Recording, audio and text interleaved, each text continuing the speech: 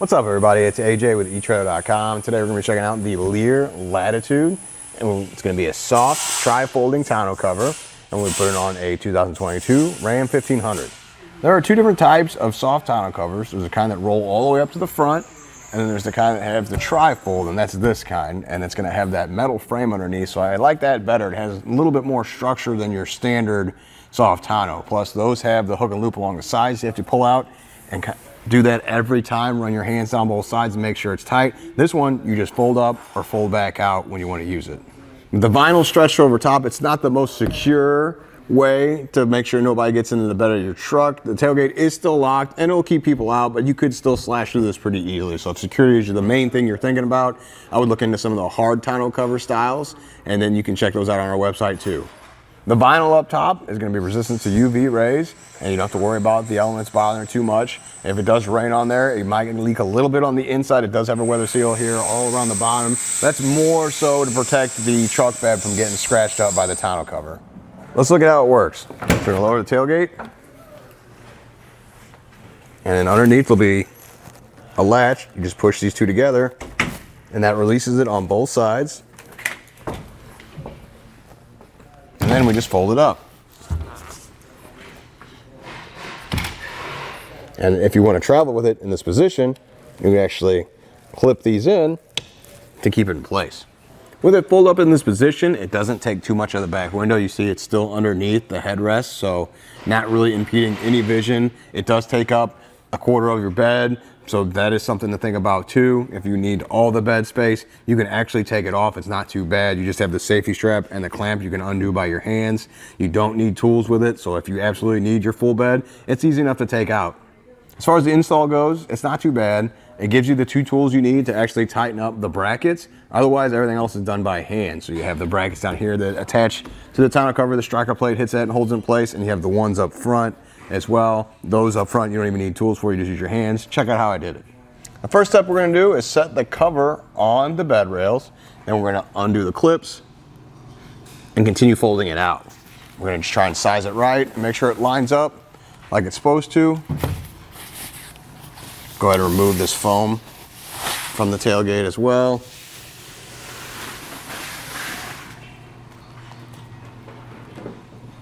And just take a look at how it sits on the bed rails and adjust it as you see fit. What we're looking for is an even placement and make sure it sits square on the bed rails and tailgate. I think it looks good here, so what we're gonna do is fold the cover back up and start attaching it. As you fold up, just be careful not to move the cover from how you had it set up. Now we're gonna install our clamp. So we put it in the position that works the best. You got a few options here. The middle one looks like it's good for us. You push this square up in the square hole and then slide it over so that it can't come back out. And then you're gonna tighten up the hand knob to tighten the clamp to the side rail. Now make sure you do not over tighten it. Seems good there. Now we're gonna attach our safety strap So just gonna push it up there and tighten the hand knob on that one as well. Now we're gonna install our rear clamps. I folded out the tonneau cover. Now there's a few points of adjustment here. The first one we're gonna do when we put this up in between the bed rails is we're gonna tighten this knob here and that's gonna help hold into place. So that's what we're gonna focus on right now. So make sure it's loose enough. These are loose enough for it to be open to actually fit. And we're gonna match it up with the latch here because it's the striker plate. So you want to make sure it goes up and over. So make sure there's nothing under there. And now you see this rubber portion is on the top of the bed rail. It looks like it's going to line up with that right there. And then I'll tighten down our hand knob at the bottom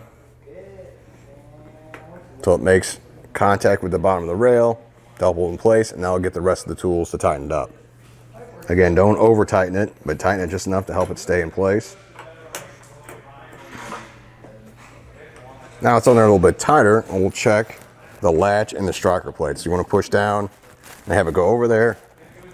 You want to catch right there. So it's not going to be, this is too low. So I'm going to loosen this and move this up just a little bit.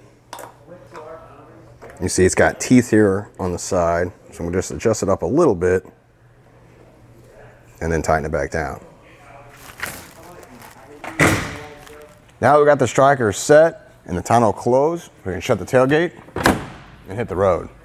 Overall, not too bad of an install. Didn't take that long to put that on there, which is good because that means it's not gonna take that long to take it back off if you do wanna use your full bed. Even though it does fold up, it still does take a quarter of the bed up. So if you need full access to put more stuff in there, you can easily take it right back off or put it back on in the driveway.